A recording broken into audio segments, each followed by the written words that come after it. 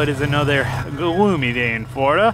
We got two white Mazdas. Look at that. Two white Mazdas side by side. That's actually a parts car for that Ben bought. But anyway, last time we worked on the abandoned FC, we got it moving under its own power. We didn't really get it driving, um, but we did get it moving under its own power. We moved it in and out of the shop. I actually ended up driving it down the driveway later, and I drove it over here. So, it, I mean, it's physically driving, but there's definitely a handful of things preventing us from going and taking it on like an actual rip, you know? It, it's just moving under its own power. That's definitely a better way to describe it. So, today we're gonna try to get it ripping. Like I want to actually be able to go freaking do pulls in it and floor it and all that stuff. So that's what we're working on today. I think we have everything we need to do so. Fingers crossed that we do. Uh, yeah, let's get it in the shop, start working on it.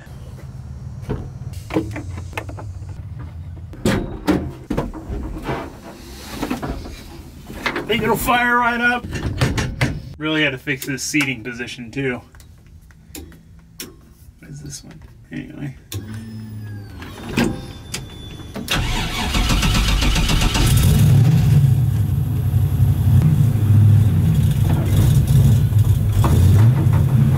She runs good, as you can probably tell. You never remember where.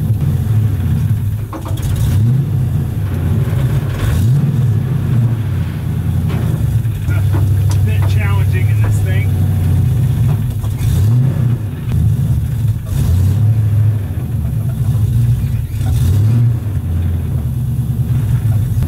Oh, I'm gonna die of carbon monoxide. Oh.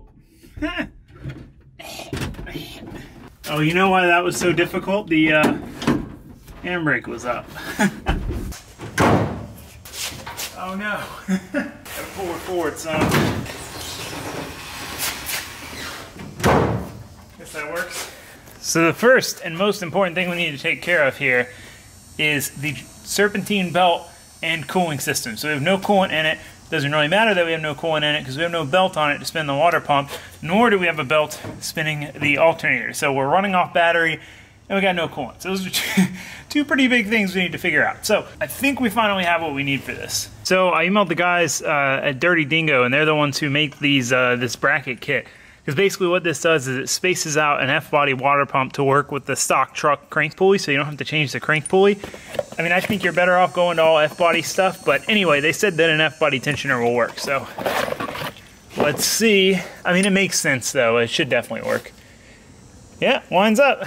Sweet, yeah. No, I mean, it, I don't know why I didn't think of that, but it totally makes sense that an F-body one would work, because it matches the water pump.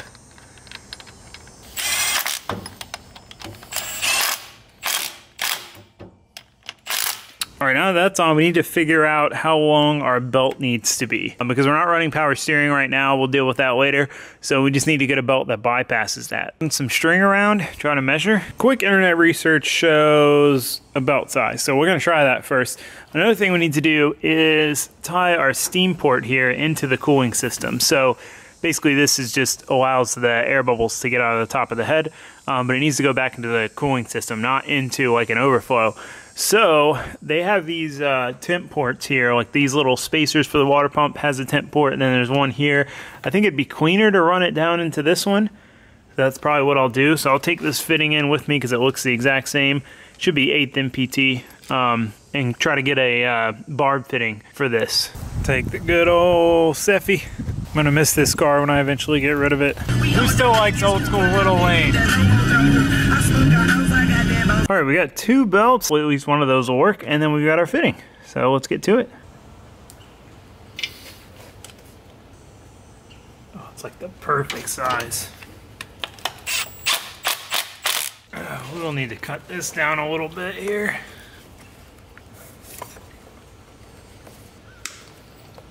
All right, well, we'll need to put a hose clamp on each of those, but that's done.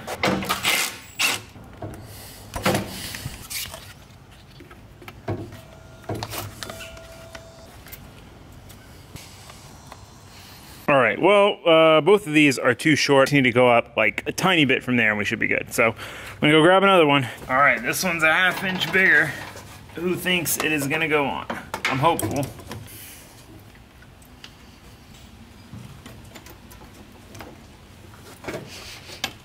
There we go. That's it. That's a freaking belt, ladies and gents. That's a big step. One missing piece of the puzzle solved. Bolt tensioner and belt. So now we got alternator, water pump. Sweet. Stoked on that. I was hoping that would go easily. I need to make radiator mounts for this, but I'm out of argon right now. I have to go get argon tomorrow, but it's Sunday. I guess I could MIG weld them.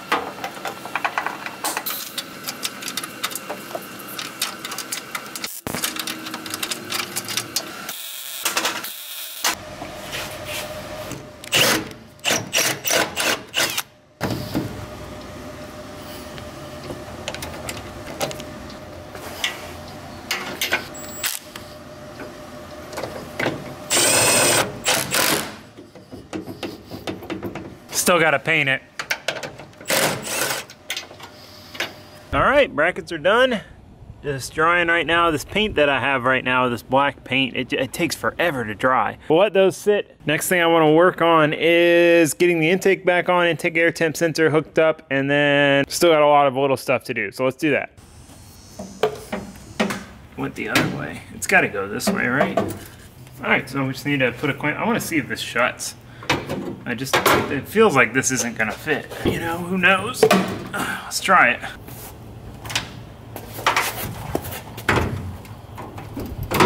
Not even close.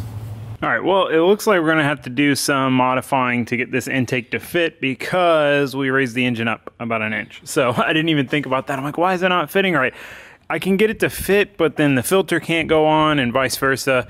So I don't know. For now, we're just gonna leave it like that and uh, work on bleeding the cooling system. So let's start filling her up. Huh. That was a sweet miss. So this car has the same dilemma that the LS Miata has, which I fixed on the LS Miata by making an expansion tank. But basically, the radiator is not even close to being the highest point in the cooling system. So I filled the radiator up, and since it's so low, uh, it literally wasn't getting really anything into the engine. I tried to run it, see if it would, you know, get some circulation going. It wasn't happening. So now I've got the radiator jacked up, so it's higher than the rest of the cooling system, and it's it took another two gallons like that. So now we're gonna start it up and try to bleed it out some more with the radiator jacked up like that.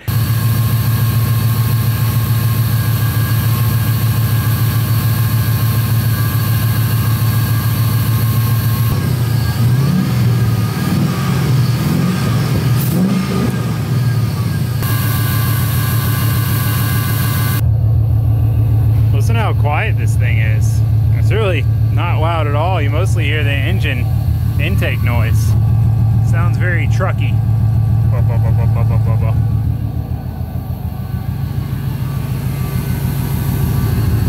Got right at 40 psi of oil pressure, so that's solid.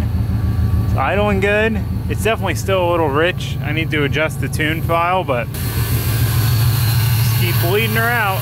Check it out, I can rev it now.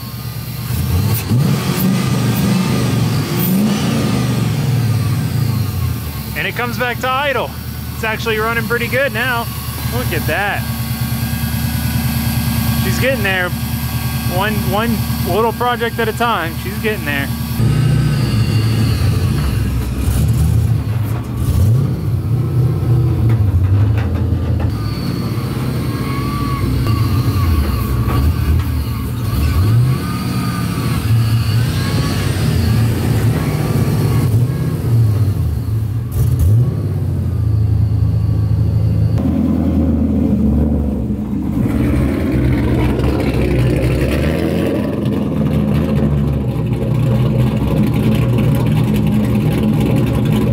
one thing that definitely needs to get done before driving, I gotta pull these fenders off. The tires are just sitting on the fenders because it's stock suspension, which is meant for a much lighter motor than this iron block V8. So it's just kind of like sitting on them. And uh, yeah, as soon as we hit a bump, it's just gonna toast them. And they're not, you know, the fenders are straight, so I don't wanna destroy them. Gonna get rid of this silly dress-up hardware.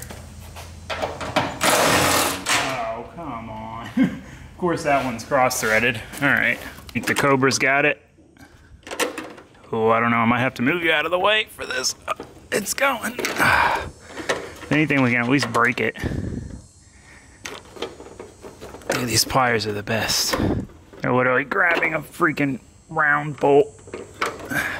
Okay, I gotta move you out of the way, sorry. They did it. I'll said it before, I'll say it again. If you work on cars, you should own a pair of these. They're the best.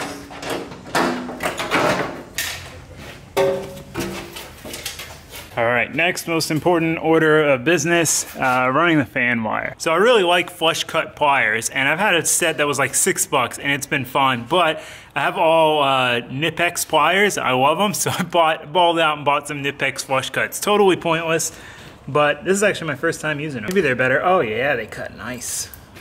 Yeah, totally unnecessary, but I don't know, kind of a tool nerd. Now they match the rest of my pliers.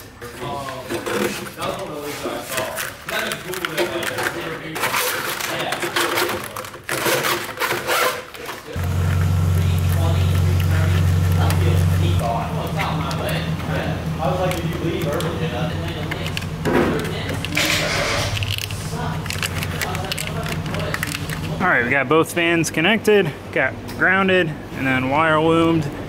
It goes into the chassis here, so I just gotta hook it up to the arc and see if it works. All right, we got it hooked up. Let's see.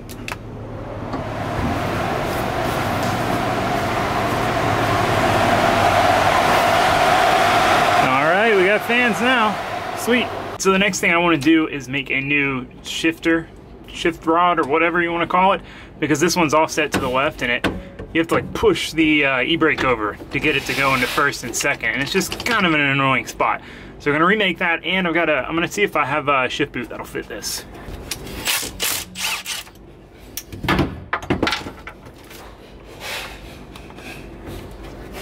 Oh man, the holes almost line up. They're a little off. I think it's shorter back here. I think this might, uh, I mean, it's close. It'll work. Can make new holes in roof nut later on. Yeah, look at that. Isn't that nifty? Uh, that's not really gonna work. You make a new little hole here. Oh, well, almost overdid it there. This is a little janky, but we'll make it nicer later. This thing just like lots of heat comes in through this guy only there was one more hole, we'd be set. I mean, that's pretty close. Okay, now let's make a shift rod. All right, I have a game plan. Let's try it out. Like that.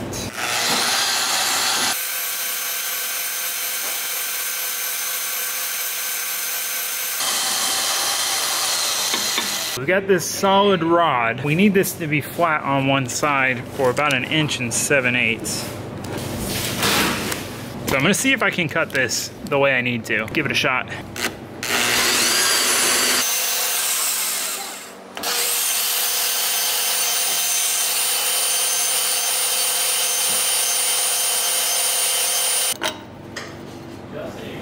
Look at that. Now we gotta mark and drill our holes.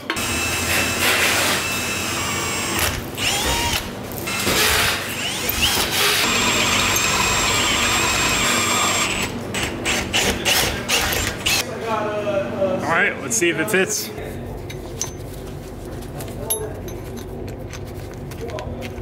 Oh, well, we're gonna need longer bolts than this.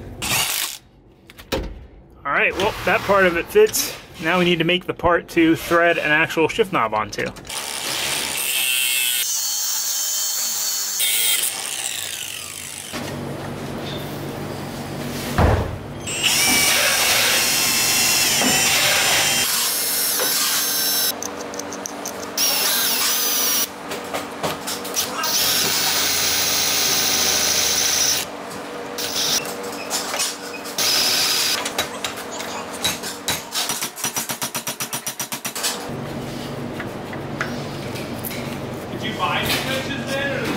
Beautiful. All right, we've got our little shifter extension. We got the paint drying on it. I actually was gonna weld that stud in, but the tolerance is so tight, it's like pressed in there. So I think that's gonna be just fine. So once that dries, we can put it on. But for now, we're gonna move on to our other ergonomic issue, which is the seat. You can see how upright it is. And I think it doesn't seem too far forward leg-wise, so I think if we just drop the back down, it'll solve the issues. I just feel way too close to the wheel, which some of you may know I like being super close, but this is too much. But my legs seem fine. So we're gonna try to drop the back down, angle it back some, and see if that solves it.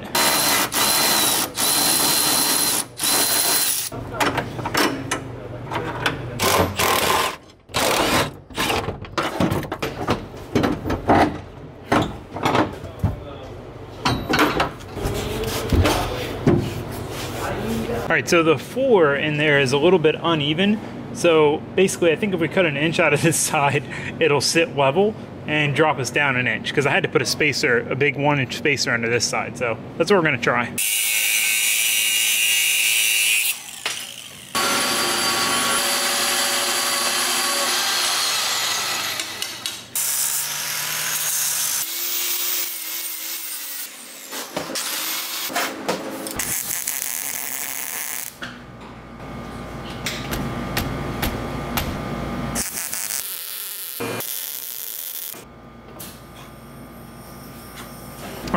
Going down, let's put the shifter on. This paint should be dry by now.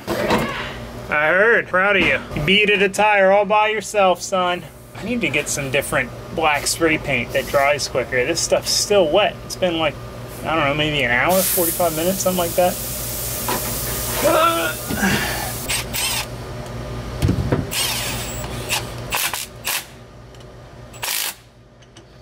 All right, now the pièce de resistance. Well, first I gotta get this tape off. Come on, there we go. Look at that.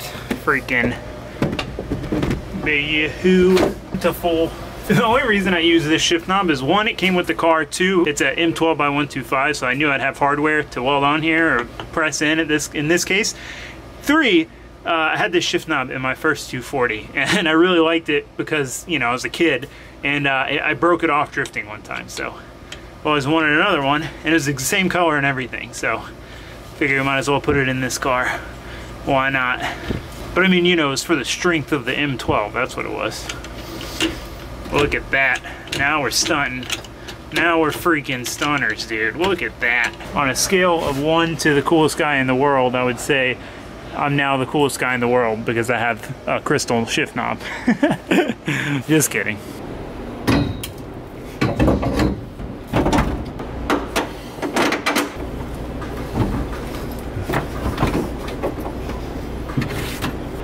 That's about right. Still a little close to the wheel, but leg-wise to the pedals, I feel about perfect.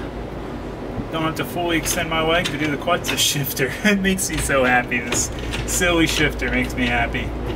We can actually go into first without hitting our e-brake. All right, cool. Let's get it bolted up and uh, see if there's anything else we need to do before we try this thing out. I'm excited.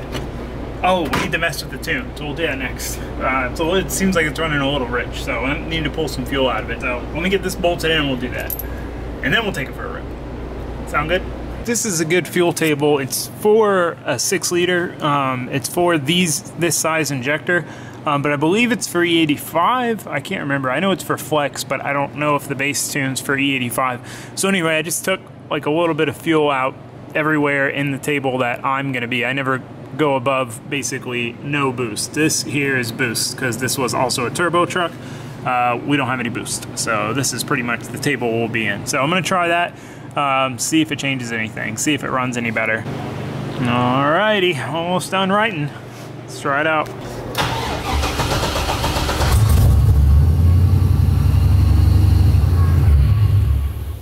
Might not be enough fuel. I had to uh, change the map calibration and I got some wrong information. It wasn't running right at all and then I finally got the right one and now it seems to be running fine. So got it running. It's got a full cooling system. Fans are working. We're pretty much ready guys. She's ripping. We're gonna have to figure out something for our air filter here. But for right now, open tube will do. It's crazy how quiet this thing is. The freaking, whatever that noise is in the engine bay is louder than the exhaust. It kind of sounds good though. Uh, so one more thing I'm gonna do before we go here. Let me turn this off. I'm gonna try to roll the windows down, or at least the driver's side. I had, there's some wires there. I have my power probe. I wanna roll them down. All right, well, this side, look at that. Works like a charm. Window rolls right up, we reverse polarity, uh, and we roll the window down. Great. Other side, the motor stripped out or something. The motor just, I'll take a look at it. I guess I'll dig into it a little bit and see if I can fix it. If not, it's not a huge deal. At least we can get one window down, get some airflow. Just like just driving it in and out of the shop with no airflow has been horrible. The boot should help too. It was just like fumes before. So anyway, I'm gonna mess with that other one and we'll see what happens. And then we're going for a drive. All right, that's what we're doing next. All right, guys, this is it. This is gonna be the first drive.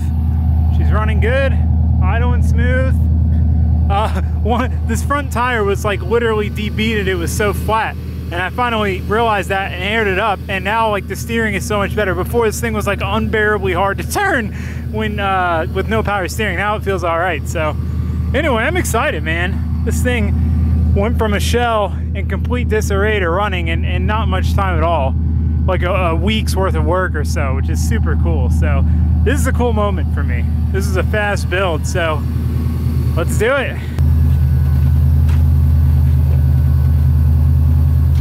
It's gonna be the sketchiest, by far the sketchiest no tag drive I've ever done because this thing is, in and of itself, is sketchy.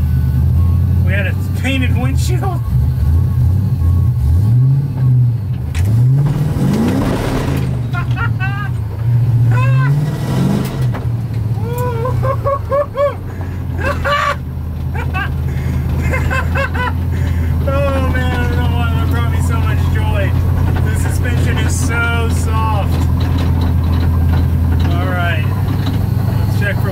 fans on now.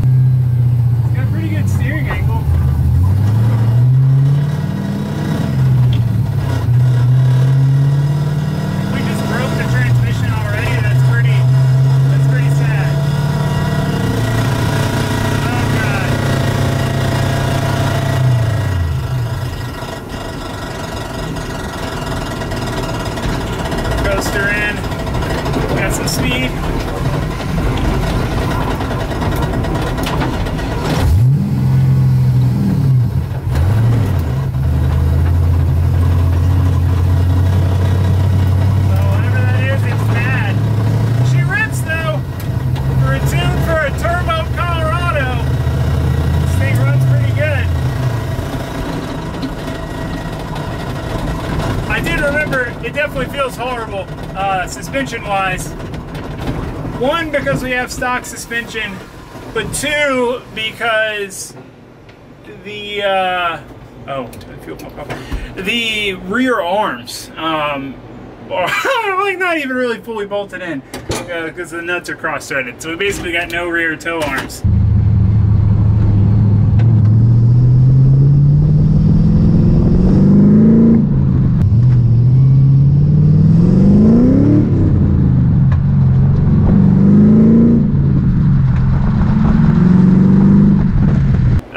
good enough for the test drive, but it was pretty, it's pretty wonky. Man, this thing feels good. For a 5.3, it's got some freaking pep, man. Ah, man, all right, let's uh, let's check it up and see if we broke anything major or if we're, if we're uh, just rubbing on something. Fingers crossed. Okay, I think I found our problemo. You can see all these marks on the drive shaft literally hitting right now, which makes sense because I mean, it, it, it's vehicle speed related. So I guess I could try to lift this trans up some, you know, throw a couple spacers in here, space it up just enough to uh, get it off the exhaust here because I don't really have any good way to bring the exhaust down without like remaking it. Oh, you know what? You know what might be the problem because the engine's higher. So now this is tilted back. That's the one thing. So we, if you haven't been following along uh, for this build, basically the engine wouldn't fit and the pan would hit the steering rack. So I extended the engine mounts like 20 mil, brought the engine up some, that gave us clearance here, brought the pan above the subframe here, uh, solved all those problems, but it did create some other issues such as this. So I'm gonna do what I can. Oh, I have the engine hoist, yeah, so I can do this by myself because Ben's gone. I'm gonna jack this up. I'm gonna put a couple spacers in here and uh, we're gonna go back out.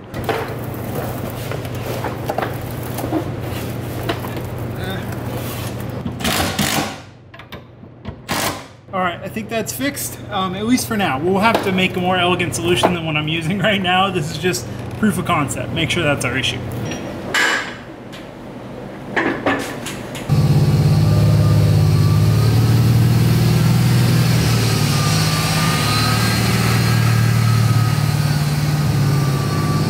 All right, try number two. Seems like our horrible noise is gone based on the, uh, it's backing it out of the shop, but we'll know when we uh, do a quick run down the road.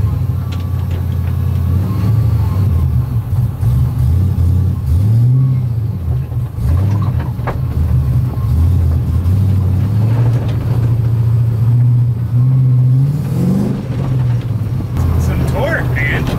I don't know if it just feels so fast because it's so sketchy, but it makes me want to like verify my Miata engine's healthy because this thing shouldn't be as peppy as my Miata.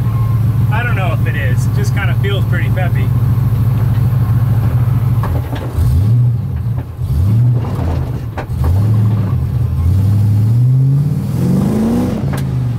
Maybe it's not that peppy.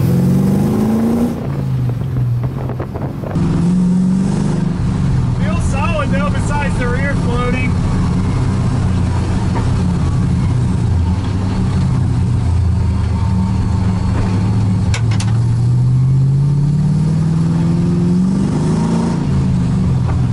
Okay, it's not as Miata. That makes me feel better. I'm gonna loop it around right here. There's not much sense in driving it on the street.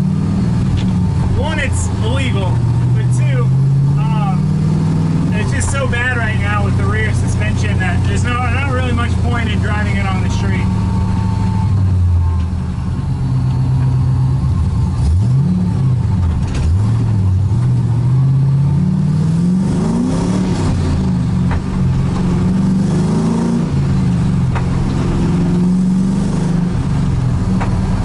can't tell if it's backfiring or there's just bolts falling out, clamming, clacking into stuff or what. Hey, we made it back without any horrible noises this time. Woo!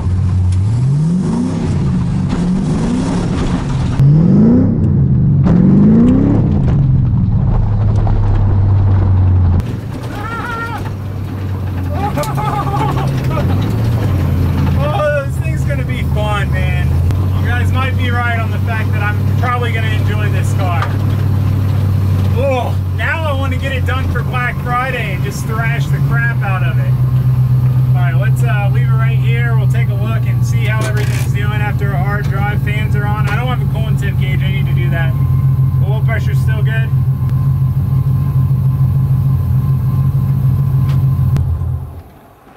Man, I am so stoked right now. This thing runs and drives and ripped just fine. Like everything felt solid. I mean, no, okay, that's that's wrong.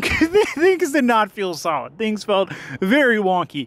But it shifted good, it drove good, it ran good, it was clean, it didn't break up. Like everything felt good besides the fact that we've got stock and horrible suspension on here that needs to get taken care of. So definitely need to do a set of coilovers, some arms, things like that. But man, it freaking drives, guys. Like it literally drives. I am so excited about this. I, I just can't can't get over it. I'm so happy. It freaking drives just fine. You know, ah, ah, stoked. Okay, sorry.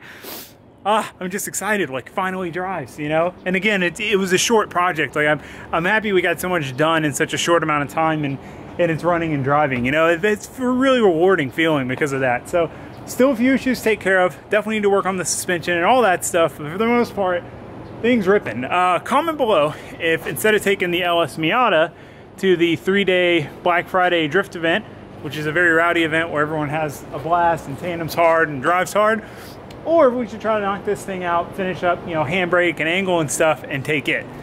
I'm gonna kind of lean towards that because it's kind of this would be a really fun party car. So I don't know. Let me know what you guys think. Let me know what you thought of this video. Let me know what you think of the FC. Freaking running and ripping.